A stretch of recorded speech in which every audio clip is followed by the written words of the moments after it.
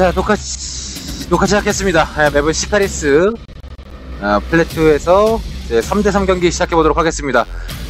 자, 왼쪽에 모르포님, 코리안 KDK님, 그리고 케로스님, random Imperial Guard, 그리고 Force Commander.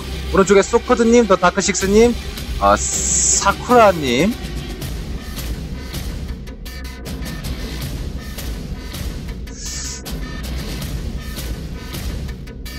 아, 뭐, 이제, 튕겨서 죄송할 건 없습니다. 예, 지연이 됐으니까 그냥 킥한 것 뿐이에요.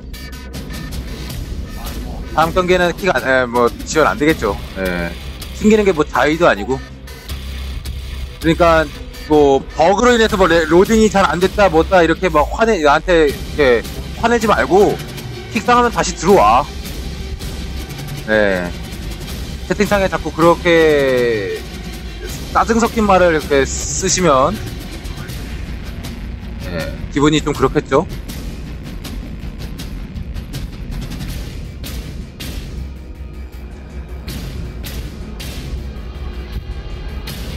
자, 설명 들어가겠습니다. 일단 워로, 어, Lord General, 아, 그리고 케로스님께서는 Force Commander, 어, Blood Raven.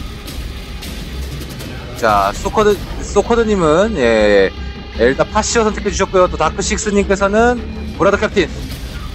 자, 사쿠라야님께서는 예, Black Templar의 Techmarine을 선택해 주셨습니다.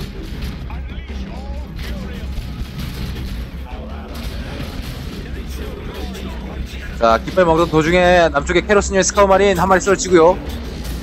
자, Force Commander와 Tactical Marine들이 예, 뒤늦게 달려와 주고 있습니다. 뒤쪽에 예, 사쿠라야님께서도 같이 병력들이 와준 모습 보여주고 있고요.